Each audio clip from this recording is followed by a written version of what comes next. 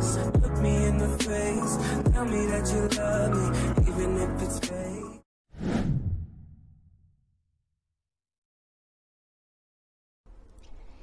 안녕하십니까? 오늘의 Q&A 진행합니다. 수액을 change 해야 할 경우 수액 세트까지 공기가 내려왔을 때 어떻게 해야 하는지요? 라고 해주신 문의가 있었습니다.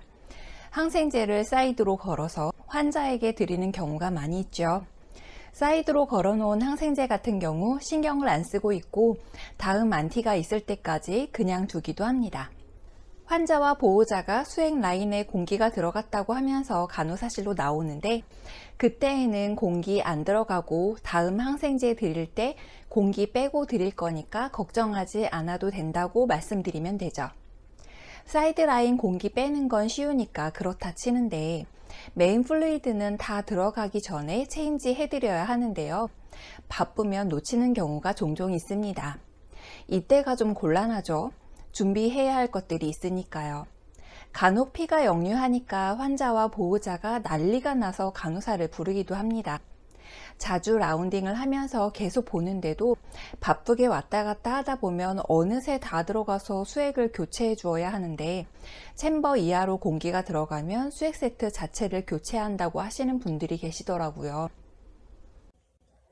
문제는 수액 세트 전부를 교체해야 하는 상황이 되겠죠. 수액 라인으로 혈액이 역류를 하고 그러면 안 되겠지만 시간이 오래돼서 수액 라인에서 혈액이 굳어 있을 때죠. 그러나 그렇게 혈액이 역류하지 않고 챔버 아래로 공기만 들어갔을 때 그리고 수액 세트로 혈액이 역류를 했다고 하더라도 혈액이 굳어 있지 않은 경우는 굳이 수액 세트를 교체할 필요는 없습니다. 챔버부터 수액 세트까지 아래까지 공기가 들어가도록 했습니다. 당연히 수액이 다 들어갔을 때 이미 조절기는 잠금 상태이겠죠. 이제 수액 세트 아래까지 공기가 조금 들어갔을 때와 많이 들어갔을 때의 차이가 있습니다. 수액 세트 아래에 공기가 조금 들어갔을 때에는 손으로 꼬아 올릴 수 있는 정도라면 한 10cm 정도는 올릴 수 있을 것 같아요. 우선 공기가 조금 들어갔을 때의 영상을 보여드릴게요. 자, 우선 한 뼘 정도의 공기는 꼬아서 올려줄 수 있을 것 같은데요. 한번 해보겠습니다. 우선 조절기를 이 아래쪽까지 내려주어야 하는데요. 보세요. 위를 꺾어 주고요. 조절기는 풀어서 아래로 쭉 내려줍니다. 그리고 여기부터 시작할까요? 열심히 열심히 꼬아서 공기를 모두 다 올려줌과 동시에 챔버에 공기를 채우고 풀어줍니다. 그러면 공기는 다 들어간 상태가 되겠네요. 근데 이렇게 일부 남아있는 공기들이 있습니다. 자, 보시면 중간중간 뽀글뽀글 공기 같은 것들이 보이는데요. 요것들은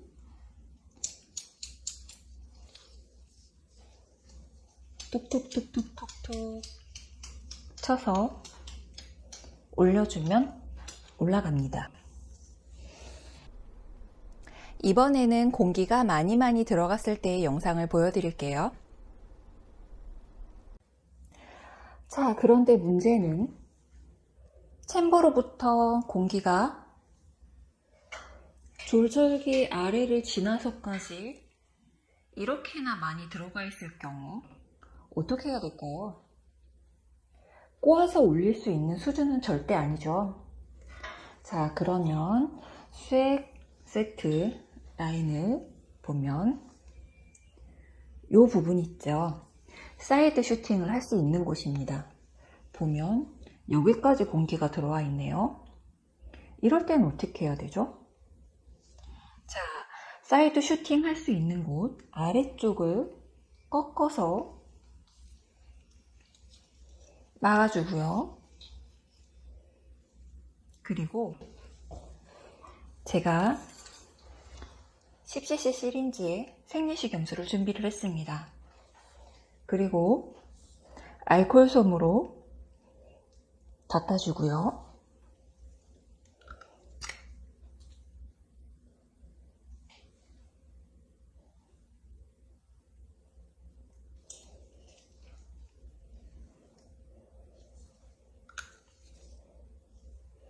놓은 상태에서 챔버의 조절기는 풀어주고요. 자, 보십시오. 위로 올려주는 겁니다.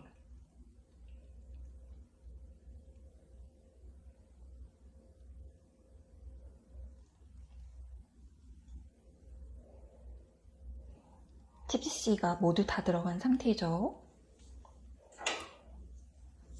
닦아주고 제가 아직 꺾은 손은 놓지 않았습니다.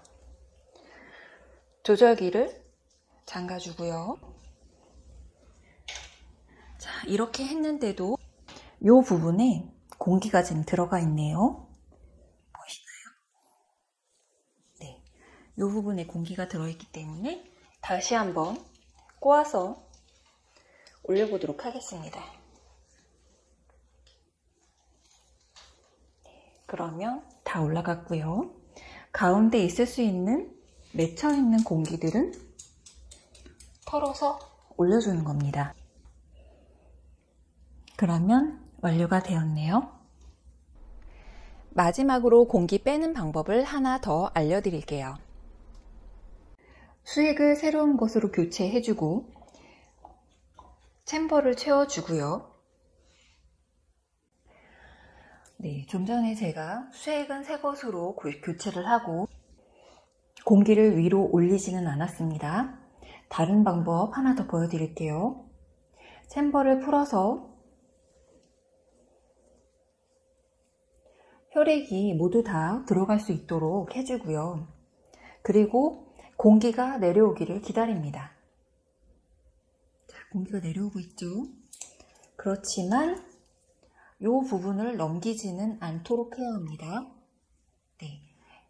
혈액은 어느 정도 들어갔고요. 지금 공기는 여기에 내려와 있습니다. 이것을 한번 빼보도록 할게요.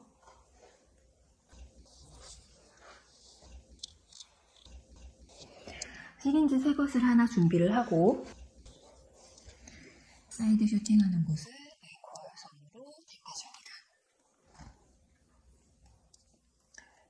그리고 꽂아서 이 아래쪽은 잠가주도록 하고요. 그리고 조절기는 풀어줍니다.